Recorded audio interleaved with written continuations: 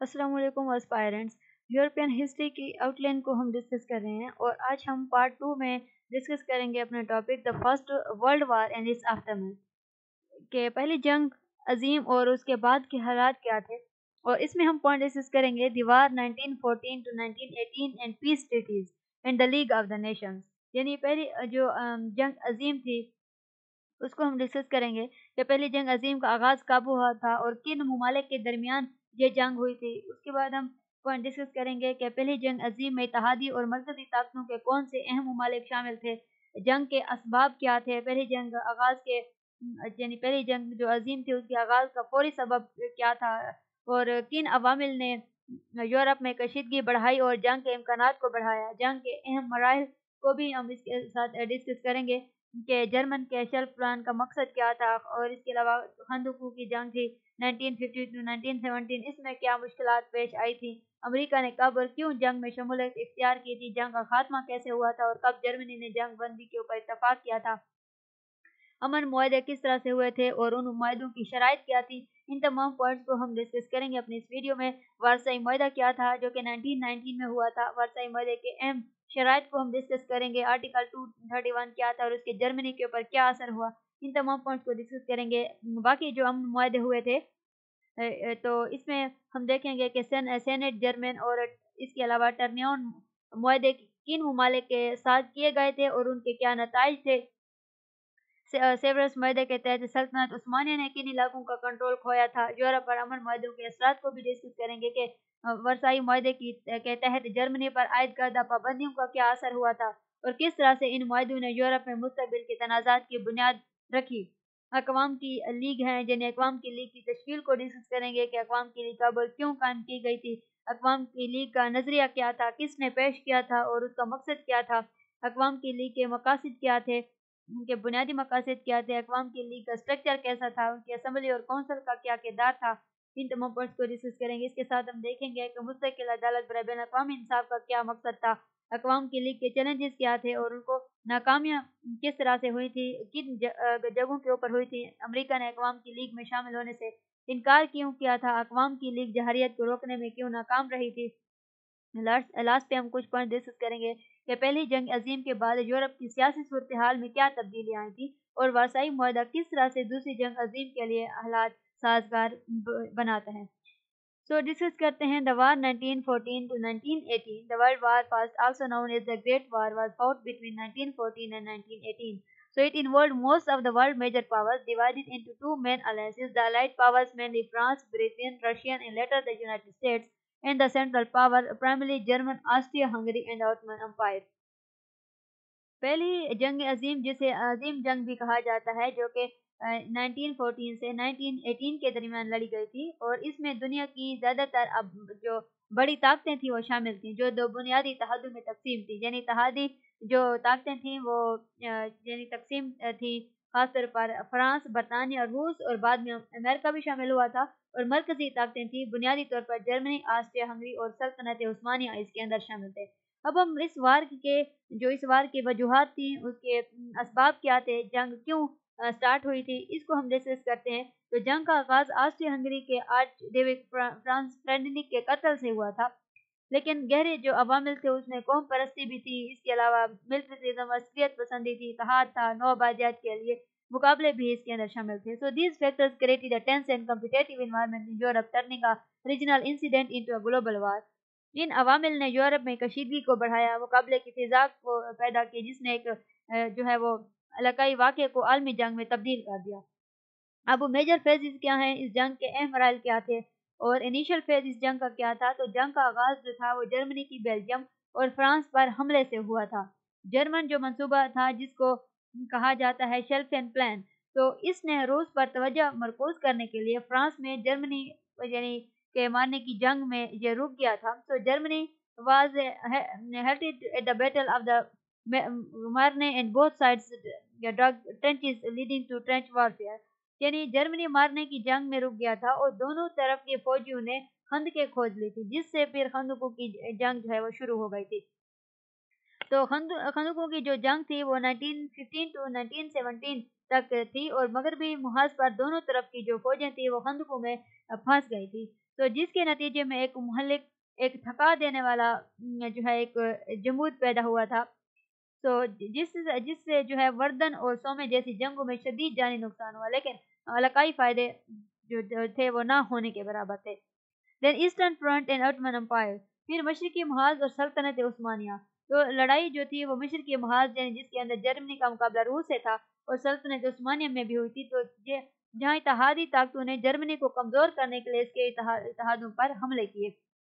US entry and Russian with 1917 America का दाखिला और रूस का इनखला अमेरिका 1917 में इतिहादियों में शामिल हुआ और जुजवी तौर पर जर्मनी की गैर महदूद अबदोज जंग की वजह से। तो इसमें रूस ने बाल्शविक इनकलाब के बाद जंग से अलहदगी इख्तियार की और जर्मनी के साथ ब्रेस्ट लोटवसिक माहा उन्होंने बनाया था। तो एंड ऑफ़ द वार 1918 यानी जंग का अख्ताम हुआ 1918 में अमेरिकी हमारे से इतिहादियों ने कामयाब कामयाब यानी जवाबी हमले किए थे और जर्मन की मीशत और जो उसके हौसले थे वो पस्त हो चुके थे। तो 11 नवंबर 1918 को जर्मनी ने जंग बंदी के पर इतफाक किया, जिससे लड़ाई खत्म हुई, ठीक है? तो अब हम अपना दूसरे पॉइंट की तरफ़ आते हैं, जो कि है peace treaties and their terms यानी अमन माहे और उनकी शराइ। तो अमन माहे कौन कौन से अमन माहे हुए थे और कब हुए थे, उनके मकासद क्या थे? वर्साई माहा था 1919 तो इसका मकसद क्या था कि 1919 में जो तय पाने वाला ये माहा था, पहली जंग अजीम के बाद का सबसे अहम अमन माहा था, जिसका मकसद क्या था कि जर्मनी और इतिहादी ताकतों के दरमियान जंग को बाबा तौर पर ख़त्म किया जाए। अब हम इस माहे के अहम शराइ, की, को डिस्कस करते हैं कि इस माहे की अहम शराइ कौन सी थी। तो जर्मनी ने ज़मीन खो दी, जिस जिसमें एलिसिस लोरिन फ्रांस को दिया गया और मशरकी यूरोप में नई कौमें जैसे पोलैंड बनाई गई। उसके बाद इसके अंदर दूसरा पॉइंट था कि अस्करी पाबंदियाँ, यानी जर्मन फौज का हजम कम कर दिया गया था और हथियारों, जहाज़ों और हवाई फौज के ऊपर पाबंदियाँ लगाई गई थी ताकि मुस्तबिल में जहारियत को रोका जा सके।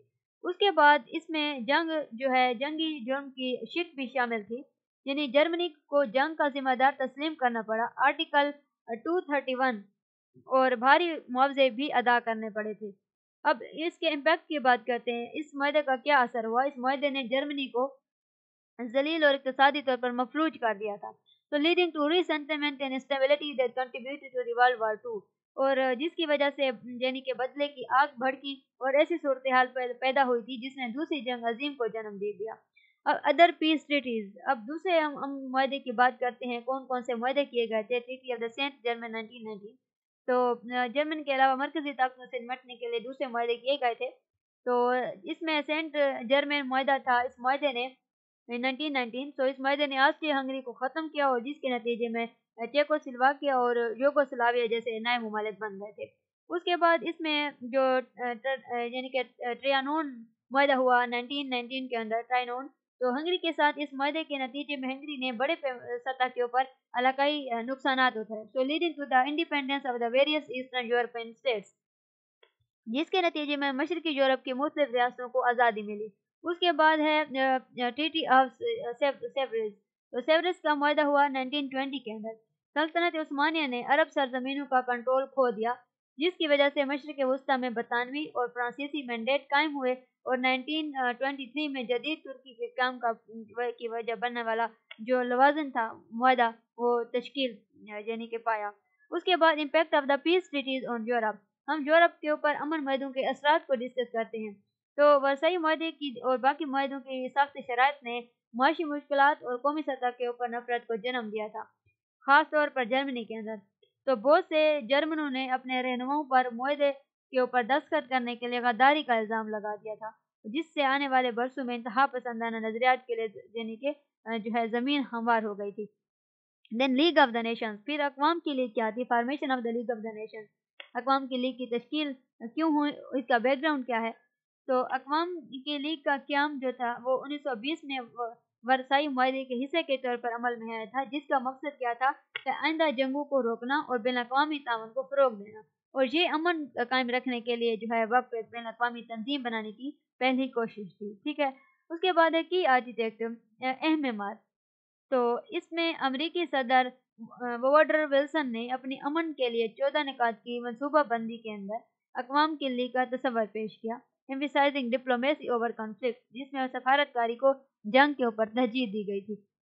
अब हम ऑब्जेक्टिव की, उनके इस लीग के मकासद को डिस्कस करते हैं कि इस लीग के बनने के मकासद क्या थे। तो आइंदा तनाज़ात को रोकने के लिए सफारतकारी को फ़रोग देना, इसका मकसद था protect member nation from migration रुकन ममालिक को जहरीत से बचाना, इसके अलावा एड्रेस सोशल और इकॉनमिक इशूज़ इंटरनेशनली जिन्हें बैन अवी सतह के ऊपर समाजी और इकतदी मसाइल को हल करना। तो अब हम डिस्कस करते हैं इस लीग के स्ट्रक्चर को, इस लीग के ढांचे को।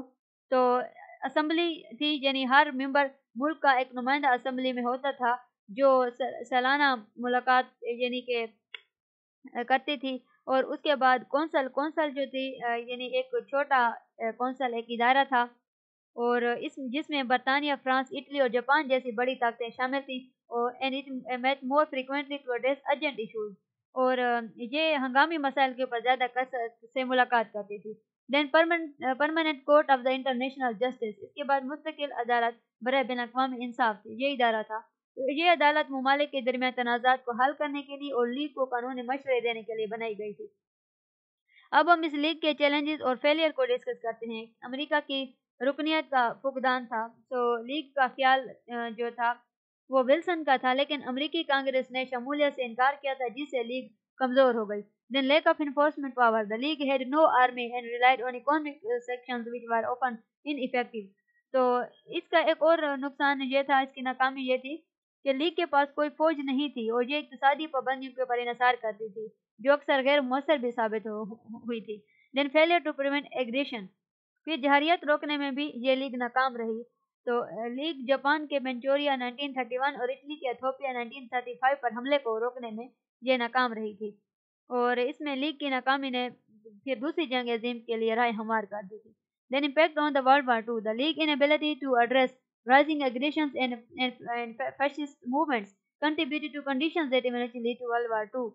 तो इसका असर क्या था? दूसरी जंग अजीम के ऊपर असरात इसके क्या थे कि बढ़ती हुई जहारियत और फाशिज्म की तहरीकों को रोकने में लीग की नाकामी ने दूसरी जंग अजीम की राय हमार कर दी। तो पहली जंग अजीम ने जो है यूरोप के सियासी और समाजी मंजरनामे को जो है वो एक ड्रामाई तौर पर तब्दील कर दिया था। ठीक है? The war itself cause by the complex web of the alliances nationalistic fervor and military strategies devastated Europe, leading to millions of death and massive economic loss. So, इस uh, के जो uh, यानी कि आलमी सतह के ऊपर दो असरात मरतब हुए थे जंग जो इतिहाद के पेचीदा जाल कौम परस्ती के जोश और अस्करी खिदमतें अमलियों के बाद शुरू हुई थी उसने यूरोप को तबाह कर दिया था। So the resulting treaties, particularly the Treaty of the Versailles, aimed to prevent future conflicts, but ultimately created conditions that fostered resentment and extremism, especially in Germany. The formation of the League of the Nations was a groundbreaking step toward collective security and international cooperation. तो इस तरह से इसके नतीजे में क्या हुआ कि लाखों अमवात हुई और बड़ी सतह के ऊपर मुआशी नुकसान भी हुआ और इसके नतीजे में तय पाने वाले माहे खासतौर पर वारसाई माहा मुस्तबिल के तनाज़ात को रोकने के लिए ये माहे बनाए गए थे। लेकिन ऐसी सूरत हाल पैदा की जिसने नफरत और इंतहा पसंदी को फ़रोग दिया, खासतौर पर जर्मनी में।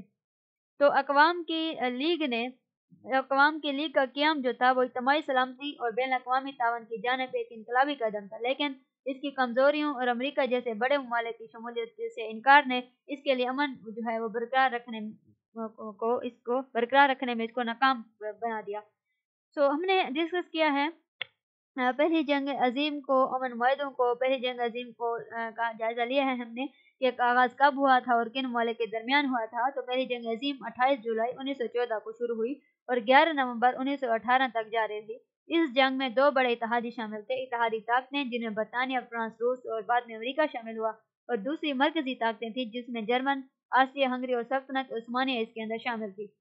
ठीक है अब उसके बाद हमने डिस्कस किया कि पहली जंग अजीम में इतिहादी और मरकजी ताकतों के कौन से अहम ममालिक शामिल थे? तो इतिहादी ताकतों में बरतानिया, फ्रांस, रूस, इटली और अमरीका थे। मरकजी ताकतों में जर्मनी, ऑस्ट्रिया, हंगरी और सल्तनत उस्मानी अहम थे। जंग के इसबाब को हमने डिस्कस किया कि पहली जंग अजीम के आगाज़ का फौरी सबब क्या था। तो हम डिस्कस कर चुके हैं कि जंग का फौरी सबब ऑस्ट्रिया, हंगरी के वली एहद आर्च डेविड, फ्रांस फ्रेडनिट के कत्ल को समझा जाता है। जिसने आस्ट्रिया हंगरी को सर्बिया के खिलाफ कार्रवाई करने के ऊपर मजबूर किया और यूरोप में पहले से मौजूद इतिहादों ने जंग को आलमी सतह के ऊपर फैला दिया। फिर किन अवामिल ने यूरोप में कशीदगी बढ़ाई और जंग के इम्कान को बढ़ाया? तो यूरोप में कौम परस्ती, अस्क्रियत पसंदी इतिहादी निज़ाम और कलोनलिज्म के लिए मुकाबला जैसे अवामिल ने कशीदगी में इजाफा किया, जिससे जंग के इम्कान में इजाफा हुआ। जंग के अहम मराल हमने डिस्कस किए। यहाँ पर क्वेश्चन हो सकता है कि जर्मन के सेल्फ एंड प्लान का मकसद क्या था? जर्मन का सेल्फ एंड प्लान मगरबी महाज पर फ्रांस को जल्द शिकस्त देकर रूस की तरफ़ जो है मुतवजा, तवज्जो देना था। इस प्लान का मकसद जो था, वो एक दो तरफा जंग से बचना था। उसके बाद हमने डिस्कस किया कि खंदकों की जंग थी 1915 टू 1917 तो इसमें क्या मुश्किल पेश आई थी? तो हमने देखा कि खंदकों की जंग में शदीद मुश्किल पेश आई, जैसे कि गंदे माहौल की वजह से शदीद जानी नुकसान हुआ।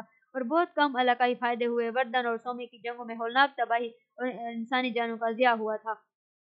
उसके बाद इस पॉइंट में क्वेश्चन हो सकता है कि अमेरिका ने कब और क्यों जंग में शमूलियत इख्तियार की? तो अमेरिका ने 1917 में जंग में शमूलियत इख्तियार की और जुजवी तौर पर वो जर्मनी की गैर महदूद आबदोज जंग और बरतानिया के साथ जाती मफादात की बिना के ऊपर। उसके बाद क्वेश्चन हो सकता है कि जंग का खात्मा कैसे हुआ था और कब जर्मनी ने जंग जंग बंदी के ऊपर इतफाक किया था? तो जंग का अख्ताम ग्यारह नवंबर उन्नीस को हुआ था, जब जर्मनी ने जंग बंदी के ऊपर इतफाक किया और अमरीकी मदाखला से इतिहादियों को तकवीत मिली, जिसने जर्मनी को शिकस्त तस्लीम करने के ऊपर मजबूर कर दिया। अमर माहे और उनके शरात को हम डिस्कस कर चुके हैं अपने इस वीडियो में। तो वसाई माहे थे जो कि उन्नीस सौ उन्नीस में हुआ था। इस माहा ये माहा क्या था और कब तय पाया था? तो ये माहा एक अमन माहा था जो कि उन्नीस सौ उन्नीस में तय पाया था और इस माहे का मकसद क्या था? कि पहली जंग अजीम के बाद जर्मनी और इतिहादी ताकतों के दरमियान जंग को बाबा तौर पर ख़त्म किया जाएगा। उसके बाद वर्साई माहे की अहम शरात को हमने डिस्कस किया कि माहे के तहत जर्मनी को अलाकई नुकसान का सामना करना पड़ा था। उसकी फौज महदूद कर दी गई थी। उसके ऊपर भारी माली मुआवजे आयद किए गए थे और उसे जंग का जिम्मेदार भी तस्लीम किया गया था आर्टिकल टू थर्टी वन में। उसके बाद हमने article two thirty one discuss किया, ये क्या था और उसका जर्मनी के ऊपर क्या असर हुआ था। तो आर्टिकल टू थर्टी वन जैसे यानी वार ग्लेट क्लॉज कहा जाता है, इस आर्टिकल टू थर्टी वन को वार ग्रेट क्लॉज कहते हैं और जर्मनी को जंग का मुकम्मल जिम्मेदार ये करार देता है ये आर्टिकल और इस शेख की बुनियाद के ऊपर जर्मनी पर भारी यानी माली जुर्माने आयद किए गए, जिसने जर्मनी को इकतसारी तौर पर मफरूज कर दिया और नफरत और बदले के जज्बात को भी हवा दी। और इसके अलावा, इस माहे के अलावा बाकी अमन माहे भी हुए थे। तो जिसमें सेंट जर्मेन था, इसके अलावा ट्रेनोन माहा था तो ये किन मारे के साथ किए गए थे, उसके नतज क्या थे? हमने डिस्कस किया कि सेंट जर्मेन माहा आस्ट्रिया के साथ और ट्रेनोन माहा हंगरी के साथ किया गया था और इन माहों के तहत आस्ट्रिया और हंगरी की सल्तनतें तकसीम हुई थी। और चीकोसलवाकिया और योगोसलाविया और इसके अलावा रोमानिया जैसे नए ममालिक भी वजूद में आए थे। उसके बाद हमने और माहा डिस्कस किया था, यानी यानी कि सेवरस माहा तो उसके तहत सल्तनत उस्मानिया ने किन इलाकों का कंट्रोल खोया था? सेवरस माहे के तहत सल्तनत उस्मानिया ने अपने अरब इलाकों का कंट्रोल खो दिया था, जिससे मशरक वस्ता में बरतानवी और फ्रांसीसी मैंडेट कायम हुए और जदीद तुर्की के क्याम की भी हमवार हुई उसके बाद हमने थर्ड पॉइंट में डिस्कस किया कि यूरोप के ऊपर यूरोप के ऊपर जो अमन माहे थे, उनके असरात क्या थे? तो इस जो वर्षाई माहे था, उसके तहत जर्मनी पर आयद करदे पाबंदियों का क्या असर हुआ था? जर्मनी के ऊपर आयद करदा पाबंदियों से उसकी मीशत तबाह हो गई। जर्मन अवाम में पसंदी के रुझान को फ़रोग मिला और ये पाबंदियाँ दूसरी जंग अजीम के हालात पैदा करने की वजह बन गई। उसके बाद इसमें क्वेश्चन हो सकता है कि किस तरह इन मदों ने यूरोप में मुस्तबिल की तनाज़ात की बुनियाद रखी थी? तो अमन मदों की साख्त शराय खासतौर पर जर्मनी के ऊपर इसने बदले और नफरत के जज्बात को बढ़ाया और जो बाद में फाशिज्म के अरूज और दूसरी जंग अजीम के लिए बुनियाद बने। और उसके बाद अकवाम की लीग को हमने डिस्कस किया। अकवाम की लीग की तश्कील कब और क्यों कायम कब हुई थी, ये क्यों कायम हुई थी अकवाम की लीग उन्नीस सौ बीस में वसाई माहे के तहत कायम होती है जिसका मकसद आलमी अमन कायम करना था और आइंदा जंगों को रोकना था। उसके बाद इसमें क्वेश्चन हो सकता है कि अकवाम की लीग का नज़रिया किसने पेश किया और इसके क्या मकासद थे? तो अमरीकी सदर वोड विल्सन ने लीग का नज़रिया पेश किया था। हम डिस्कस कर चुके हैं तो इस माहे का मकसद क्या था? उनके तनाज़ात में, यानी पुरमन हल और बिन अवी सतह के ऊपर तावन को फ़रोग देना शामिल था इस लीग का नज़रिया। और अकवाम की लीग के मकासद क्या थे बुनियादी? इसकी मकासद में अवी सतह के ऊपर अमन अमान का क्याम था, जहरिया से तहफ़ और समाजी इकतदी मसाइल का हल इसके मकासद में शामिल था। अकवाम के लीग के स्ट्रक्चर को हमने डिस्कस किया कि उसकी असम्बली और कौंसल का क्या किरदार था। तो असम्बली हर रुकन मुल्क का नुमाइंदा फोरम देती जो, देती थी जो सालाना इजलास करती थी, जबकि कौंसल में बड़ी ताकतें शामिल थी और ये हंगामी मसाइल पर कसरत से इजलास करती थी। उसके बाद क्वेश्चन हो सकता है कि मुस्तकिल अदालत बरा बिन अवी इंसाफ का मकसद क्या था? तो इसका मकसद तनाज़ात को पुरमन तरीके से हल करना था, लीग को कानूनी मशवरे भी देना था। अकवाम के लीग के चैलेंजेस क्या थे और नाकामियाँ क्या थी और लीग में शामिल होने से अमेरिका ने क्यों इनकार किया था? तो अमेरिका कांग्रेस ने कौमियत और गैर मुल्की जंगों में मदाखला से बचने के लिए लीग में शामिल होने से इनकार कर दिया, जिससे लीग कमज़ोर हो गई। अकवाम की लीग जहारियत को रोकने में क्यों नाकाम रही? तो लीग के पास अपनी फौज नहीं थी और पाबंदियों के ऊपर इसार करती थी। जो अक्सर गैर मौसर साबित होती थी और जापान और इटली के हमले रोकने में नाकामी ने इसकी कमजोरियों को ज़ाहिर किया। लास्ट फाइव पॉइंट हमने देखे कि पहली जंग अजीम के बाद यूरोप के सियासी सूरत हाल में क्या तब्दीलियाँ आई थी तो पहली जंग अजीम के बाद यूरोप में पुरानी सल्तनतें खत्म हो गई थी और नई रियासतें कायम हो गई थी और यूरोप का सियासी मंजरनामा भी तब्दील हो गया, जिससे अदम इस्तेकाम बढ़ गया। वह सही माहे किस तरह दिस जंग अजीम के लिए के हालात साजगार बनाता है तो इस माहे की साख्त शरात ने जर्मनी में बदले के जज्बात को जन्म दिया था और हिटलर के अरूज की भी राहवार की तो जिसने दूसरी जंग अजीम के लिए नए हालात पैदा कर दिए। अकवाम के लीग की नाकामी के इसबाब क्या थे, जो हमने लास्ट में डिस्कस किया है कि अकवाम के लीग की नाकामी की वजूहत में अमरीका की गैर शमूलियती ताकत का फुकदान था, जहरीत को मरसर तरीके से रोकने में नाकामी शामिल थी, जिससे ये अमन जो है वो कायम रखने में नाकाम रही। तो हमने डिस्कस किया है, पहले जंग अजीम और उसके बाद के असरा को जंग 1914 टू 1980 तक जारी रही थी। और अमन माहे इसमें, क्या हुए थे? अकवाम की लीग को भी हमने इसमें डिस्कस किया है। सो इन टॉपिक्स के रिगार्डिंग अगर आपको कोई क्वेश्चन हो तो आप कमेंट सेक्शन में पूछ सकते हैं। Thank you for watching our video if you like our video then like share and subscribe our channel